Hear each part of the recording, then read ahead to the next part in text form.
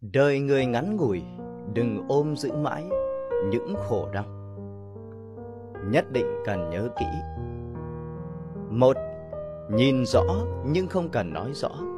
Rất nhiều chuyện chỉ cần trong tâm mình hiểu rõ là được rồi, không nhất thiết phải nói ra.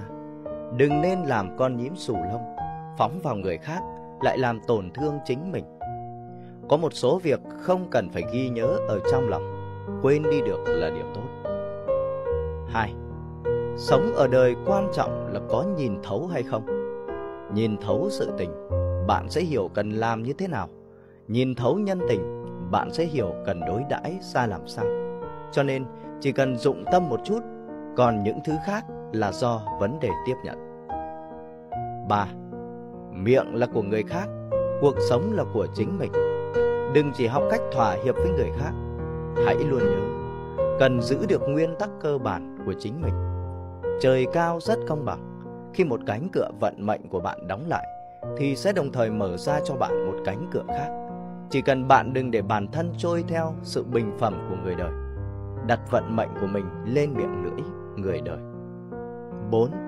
Đừng dễ dàng buông lời hứa hẹn, vì khi không thực hiện được lời hứa đó thì còn tệ hơn không hứa rất nhiều lần. Đừng chỉ biết nói lời suông, hy vọng càng lớn thì thất vọng sẽ càng nhiều. Đời người biết bao kẻ đến người đi, có một số người chính là duyên phận đáng trân quý. Có một số đối với bạn mà nói có thể chính là sai lầm. Hãy vì bản thân mình thắp lên một ngọn đèn.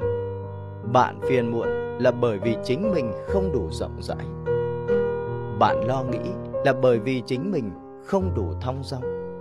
Bạn đau khổ là bởi vì chính mình không đủ kiên cường. Bạn giàu dĩ là bởi vì chính mình không đủ ánh dương.